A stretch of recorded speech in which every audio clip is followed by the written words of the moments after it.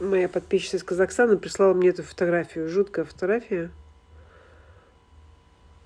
Специально для ватников казахов. Сейчас зачитаю.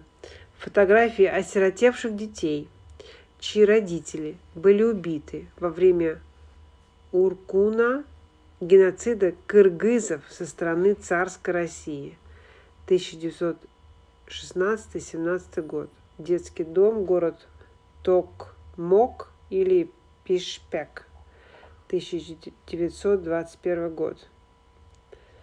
Кыргызстан, Казахстан, Узбекистан, Азербайджан, Грузия, Молдова, Тарих. Я читаю э, хэштеги. Это про то, что про тех, кто любит русский мир. Посмотрите на своих дедушек.